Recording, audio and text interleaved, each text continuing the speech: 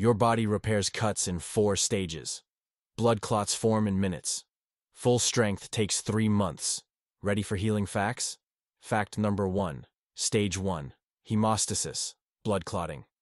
Within minutes of getting cut, your body stops bleeding through hemostasis. Blood vessels instantly constrict to slow blood flow. Platelets rush to the wound site and clump together with fibrin protein, forming a blood clot. This clot acts as a protective barrier, preventing bacteria from entering while stopping blood loss. The clot dries into a scab protecting the tissue underneath. This stage lasts just a few minutes to a few hours. Fact number two. Stage two. Inflammation, defense mode. For two to five days after injury, your body enters inflammation mode. Blood vessels dilate allowing fresh oxygen and nutrients to reach the wound. White blood cells called neutrophils arrive within 24-48 hours killing bacteria and removing dead tissue. Macrophages oversee the repair process fighting infection. You'll see redness, swelling, warmth, and tenderness. This is normal. Clear fluid may ooze from the wound. It's cleaning the area.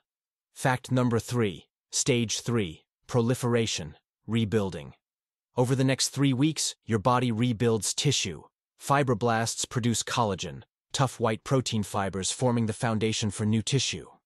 This creates granulation tissue, usually pink or red with tiny blood vessels growing inside.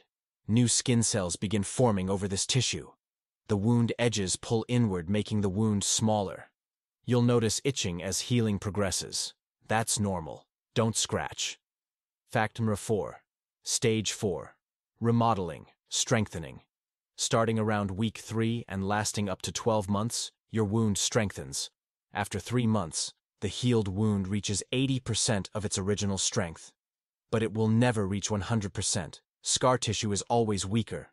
The scar fades over time, sometimes taking up to two years. Fact number 5. Blood is the key. Blood supply is the most important factor in healing.